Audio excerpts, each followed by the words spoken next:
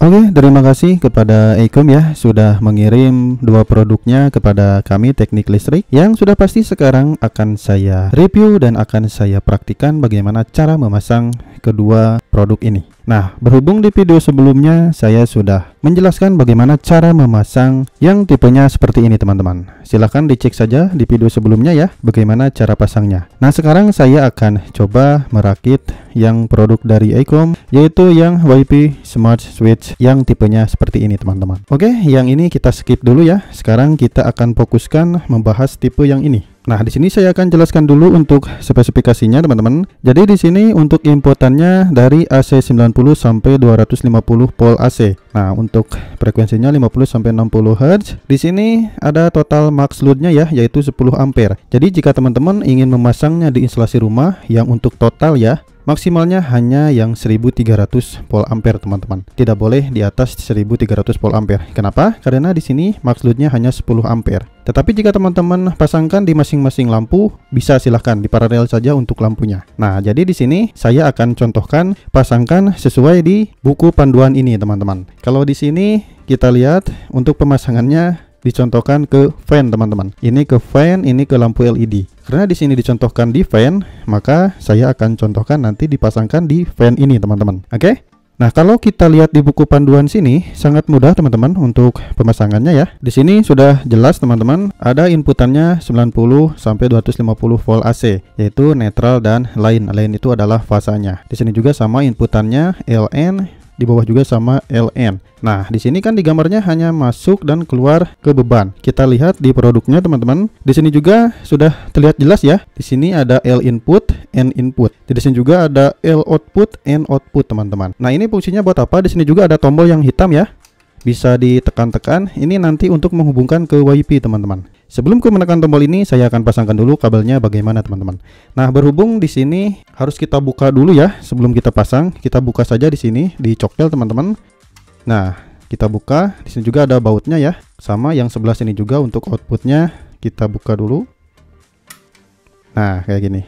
Lalu kita tinggal pasangkan yang inputan L dan N. Tapi berhubung ini adalah AC teman-teman atau bolak-balik ya. Jadi inputannya bisa bolak-balik atau di sini fase atau di sini netral bisa silakan. Tetapi berhubung ini adalah tutorial jadi saya harus benarkan aja, jangan sampai kebalik. Jadi di sininya posisi L, di sini posisi N, teman-teman.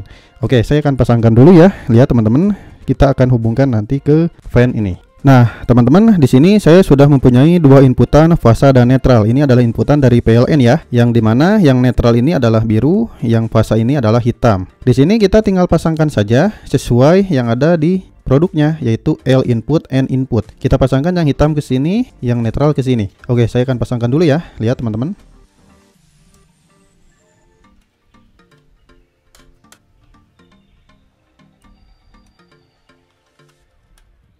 Oke teman-teman lihat sudah saya pasangkan ya yaitu yang hitam yang fasa ke jalur L dan yang biru yang netralnya ke jalur N Nah ini adalah inputan dari PLN yang fasa dan netral. Selanjutnya kita pasangkan yang L N outputnya, yaitu yang di sini L, sini N. Berarti berhubung di sini adalah AC ya, dan di sini juga hitam semua untuk yang fan-nya teman-teman. Jadi kita bisa pasangkan di mana saja, silahkan saja teman-teman. Berarti saya akan pasangkan ini yang L dan yang ini yang netral kayak gitu. Oke, saya pasangkan dulu ya.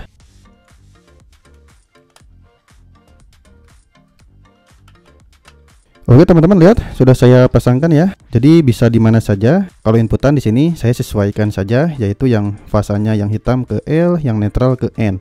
Oke, karena sudah beres saya akan coba tutup kembali ya untuk smart switch ini. Kita tutup lagi teman-teman. Oke, sudah selesai teman-teman. Seperti ini ya untuk pemasangannya sangat simpel teman-teman. Nah, sekarang kita tinggal uji coba apakah nanti bisa dinyalakan untuk fan-nya dari HP Android teman-teman. Kita coba perbesar dulu ya. Nah, kayak gini. Kita akan kasih tegangan untuk yang inputan LN ini. Oke, saya akan coba colokin sesuatu.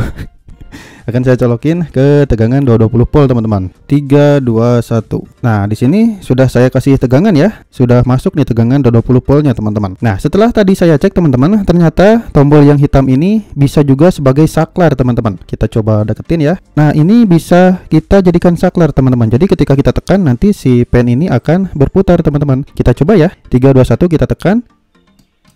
Nah, lihat teman-teman. Di sini untuk fan-nya berputar, teman-teman. Jadi, ini bisa untuk dijadikan saklar ya. Kita coba off-kan lagi, kita tekan lagi.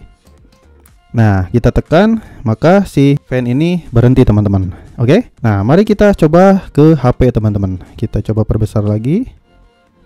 Nah, untuk cara dihubungkan ke HP, teman-teman bisa download dulu ya. Namanya Icom IoT. Nah, kita tinggal coba buka saja langsung.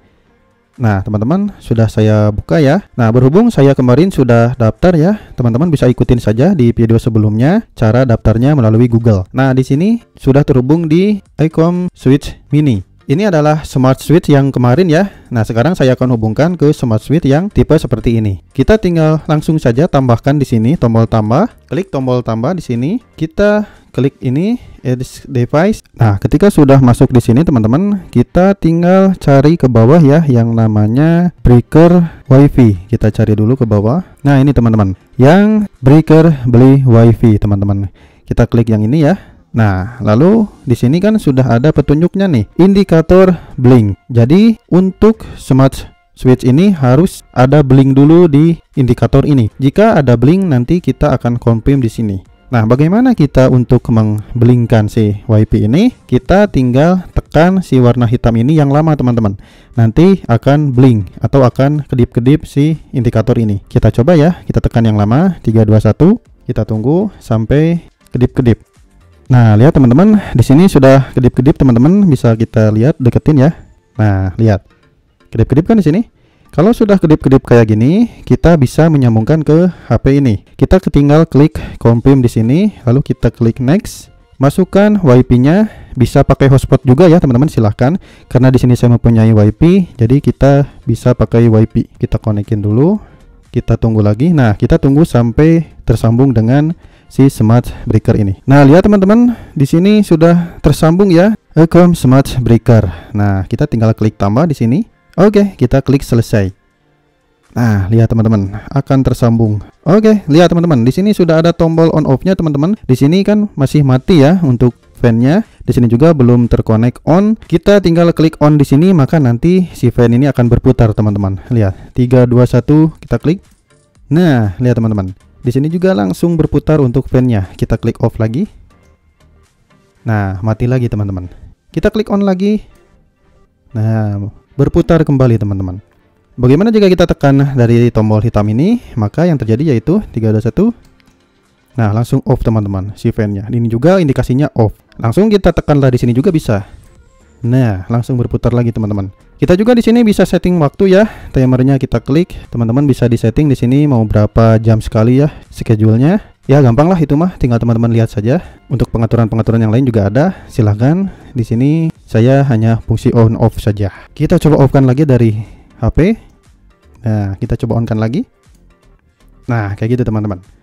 Nah, jadi untuk on off-nya itu teman-teman bisa jarak jauh juga ya. Jika teman-teman di luar kota mau mengonin si smart breaker ini, teman-teman bisa ya dari HP langsung. Tetapi dengan syarat di rumahnya ada WiFi atau teman-teman bisa hotspot saja, silahkan. Kalau ada WiFi, teman-teman bisa jarak jauh untuk on offin si breaker ini. Nah, jadi jika teman-teman ingin order produk ini, silakan linknya ada di deskripsi ya. Teman-teman bisa order saja, tinggal klik lalu masuk ke penjualan Icom Smart Switch ini, teman-teman. Oke? Terima kasih, mudah-mudahan bermanfaat. Ditunggu untuk video saya yang selanjutnya.